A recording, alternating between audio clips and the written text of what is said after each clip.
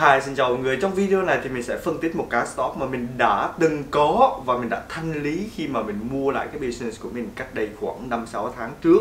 Đó chính là stock của Intel, một stock mà được rất là nhiều người yêu cầu và nhiều người hỏi khi mà mình làm những cái video của mình cũng như là ở trên Facebook. Thì trong video này mình muốn chia sẻ cái suy nghĩ của mình về cái stock này. Liệu nó có phải là một mức giá tốt để mà mua vào thời điểm này? Thì như mình đã nói với mọi người mình đã bán thanh lý cái stock này ra. Và tháng 2 có nghĩa là cách đây 4 năm tháng trước khi mà cái mức giá của nó là 41 42 đồng gì đó và mình cũng được lời từ cái stock này cũng may mắn như vậy thì mình mua trước đó rất là lâu rồi với cái mức giá là khoảng 35 36 đồng. À, thì cũng lời được khoảng hai mươi mấy phần trăm khi mà mình bán ra cái stock của Intel này. Nhưng mà kể từ thời điểm đó cho đến bây giờ khi mà tất cả những cái stock về technology, những cái stock đặc biệt là những cái stock về semiconductor, những stock về chip nha mọi người, nó lên rất rất là nhiều. Trong khi đó thì công ty Intel stock của công ty này rớt xuống mạnh hơn rất là nhiều so với là toàn cái market S&P 500 chỉ riêng cái công ty Intel này bị rớt mạnh mẽ và vào thời điểm này khi mình đang record cái video này, nó cũng có một cái bước chạy rất là mạnh. Và hôm nay cũng lên khoảng hơn một chấm mấy phần trăm và mức giá của nó đã lên là 31 đồng. Nhưng trong vòng một tháng vừa rồi, nó vẫn ở trong màu đỏ. Trong vòng 3 tháng vừa rồi, nó rớt hơn 36 gần 37 phần trăm. Và tính ra trong vòng một năm qua, nó vẫn xuống khoảng gần 5 phần trăm. Trong vòng 5 năm qua, nó vẫn bị lỗ khoảng hơn ba mươi mấy phần trăm trong khi đó thì tất cả những cái stock khác lại lên thêm rất là nhiều. Trong đó có những cái đối thủ cạnh tranh của nó.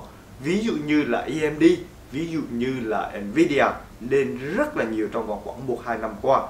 Những cái stock của những công ty liên quan đến AI technology nó lên rất là nhiều. Trong đó gồm có Nvidia, AMD và Broadcom. Những cái stock về chip khác cũng lên rất là mạnh.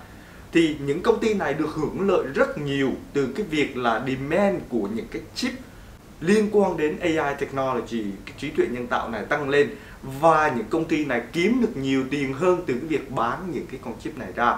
Trong khi đó Intel, công nghệ của công ty này thua kém hơn Nvidia hay là AMD rất là nhiều. Đặc biệt là nó cũng đang cố gắng để mà xây dựng những cái nhà máy sản xuất chip rất lớn đây là một trong những cái project một trong những cái dự án cực kỳ cực kỳ lớn của Intel hay nói rõ ràng hơn là nó đang trong một cái quá trình mà chuyển đổi từ cái việc là design sang thẳng luôn đó là sản xuất chip nhiều hơn. Cho nên là trong khi stock của công ty Intel này bị đi xuống doanh thu lợi nhuận của công ty Intel đi xuống rất nhiều thì những công ty như là Nvidia, Broadcom lại tăng lên thêm. Doanh thu của công ty Intel từ cái mức là 78 79 tỷ đô la vào năm 2020 21 giảm xuống cái mức là 54 55 tỷ đô la vào những năm vừa rồi.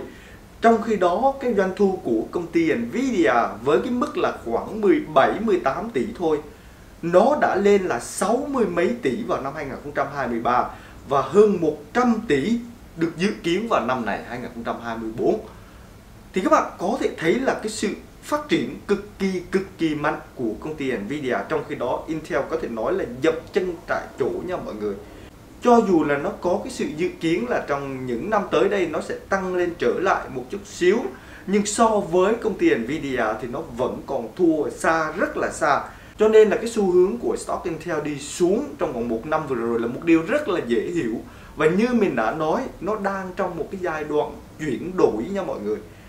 Cho nên cái việc doanh thu cũng như là lợi nhuận suy giảm trong những năm này là một điều rất là bình thường, mình nghĩ là như vậy thì rõ ràng là nó sẽ không có thể theo kịp công ty Nvidia. Rõ ràng như vậy, có thể là sẽ không bao giờ nó có thể vượt mặt được công ty Nvidia.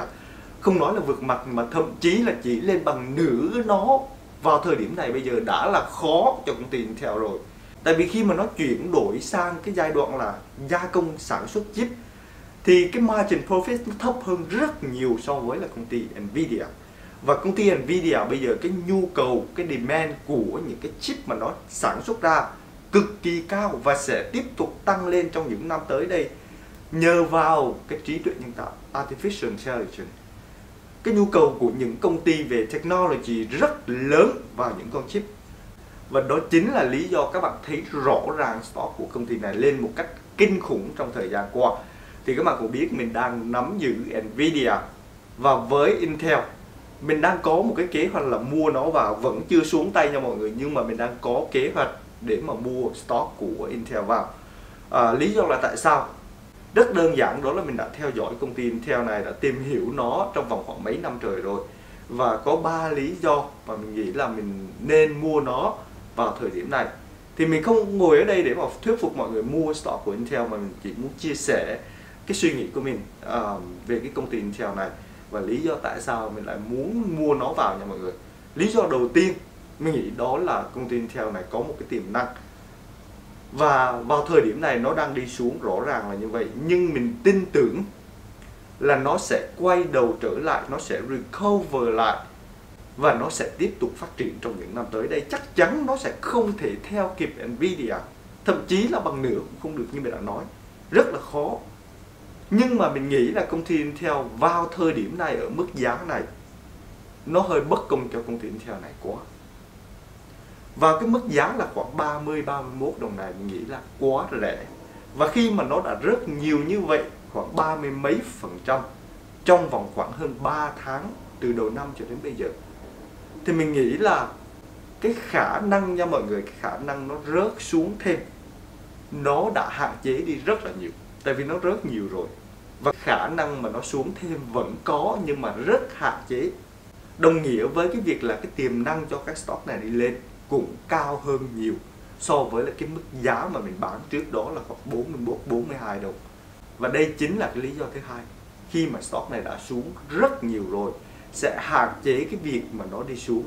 Và cái tiềm năng nó đi lên thì cao hơn nhiều so với là cái mức giá mà mình bán bốn mươi mấy hoặc là 50 đồng. Mình chỉ cần nó phục hồi lại, nó lên lại cái mức giá cao cái đây hơn một năm trước là khoảng năm mươi mấy đồng. Có nghĩa là nó đã gần lên là double rồi mọi người, tám mươi mấy phần trăm rồi. Và lý do thứ ba, đó là như mình đã nói, công nghệ kỹ thuật càng ngày càng phát triển. Và những công ty về technology cần rất rất là nhiều chip để đáp ứng đủ cái nhu cầu về chip cho tất cả những công ty về technology, thì các bạn biết vào thời điểm này thì những công ty về chip lớn nha mọi người. Thì Intel là một trong số những công ty lớn cung cấp chip đó. Cho nên, khi mà demand nhu cầu tăng lên, thì khả năng mà công ty này recover lại rất là nhiều. Đặc biệt nha mọi người, lý do rất là quan trọng, đó là công ty Intel là một công ty ở Mỹ đây cái đối thủ cạnh tranh lớn nhất về gia công chip của nó chính là TSMC một công ty ở Taiwan. Và công ty này đã quản lý rất là tốt trong những năm vừa qua. Stock của nó cũng lên thêm rất là nhiều. Nhưng các bạn không thể bác bỏ một điều đó chính là công ty này nằm ở Taiwan, chứ không phải là ở Mỹ đây, ở Đài Loan. Và Trung Quốc luôn luôn thèm muốn để mà chiếm lấy cái lãnh thổ này. Và nếu mà thực sự điều này xảy ra thì nó sẽ ảnh hưởng rất lớn đến những công ty design chip và mướn TSMC để mà gia công chip của những công ty này. Trong đó có Nvidia. Cho nên khi mà công ty Intel này hoàn thành những cái nhà máy gia công chip lớn nhất của nó ở đất Mỹ này, thì mình chắc chắn là những công ty lớn về sản xuất chip như là Nvidia, như là AMD sẽ muốn Intel sản xuất chip cho những công ty này và rõ ràng đó chính là ông CEO của công ty Nvidia đã nói cách đây 2 năm trước vào năm 2022 mình nhớ đến một trong những cái lời phát biểu của ông này. Đó là ông muốn Intel sản xuất chip cho Nvidia, nếu có thể nha mọi người. Cho nên điều này khả năng rất cao sẽ xảy ra ở trong tương lai. Thì nó cũng phụ thuộc vào cái cái mức độ rủi ro của mọi người. Khi mà mọi người nắm bắt, khi mọi người mua một cái stock, mọi người biết là cái rủi ro là bao nhiêu các bạn đầu tư vào 10 ngàn, cái rủi ro các bạn có thể mất là 3 40 phần trăm hoặc 50 phần trăm gì đó thì tùy theo mọi người thôi nha mọi người. Và mình đầu tư một ít tiền vào trong công ty Intel này với cái mức giá có thể nói là rẻ bèo và đó chính là lý do quan trọng tại sao mình muốn mua nó nha mọi người. Just in case, đâu ai biết được đâu. Một tháng sau, hai tháng sau, stock nó bay một phát ba bốn chục phần trăm, không ai biết được điều này. Và mình chỉ có bỏ vào một ít thôi, không có quá nhiều vì mình tin tưởng là công ty Intel này sẽ recover, sẽ phục hồi lại. Khi đó thì stock của công ty Intel cũng sẽ tăng lên thêm rất là nhiều. Thank you mọi người đã theo dõi video của mình.